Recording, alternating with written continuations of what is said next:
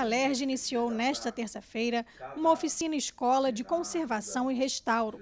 O objetivo é capacitar servidores para que eles possam participar da restauração do Palácio Tiradentes, a antiga sede do Legislativo Estadual.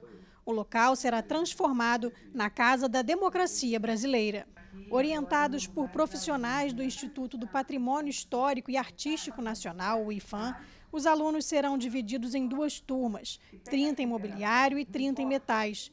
Eles participaram da aula inaugural e foram apresentados ao Palácio Tiradentes, agora sob uma nova ótica. A ideia é que mesmo os funcionários da casa é, passem a olhar o Palácio Tiradentes com um novo olhar.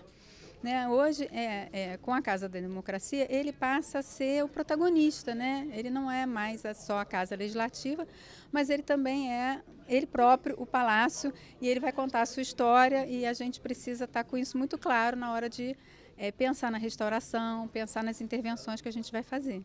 Mais de 700 móveis e objetos históricos do prédio já foram catalogados para serem recuperados na oficina escola e depois expostos ao público.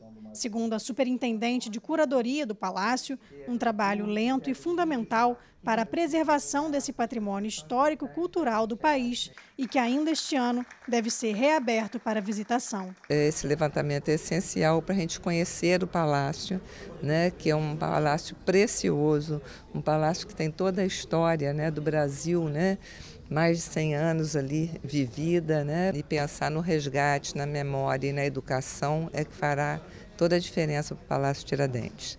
Ao abrir a aula inaugural, o presidente da Alerj, deputado André Siciliano, lembrou de momentos marcantes vividos na antiga sede e destacou a importância de viver este momento e poder resgatar a história da democracia brasileira. Para nós é uma honra estar à frente nesse momento da administração da Assembleia e poder realizar esses cursos, resgatar não só a história do palácio, mas cada cor, cada brilho, das peças ali existentes. Então, para mim é uma honra estar aqui. Eu que gosto muito de cultura, valorizo.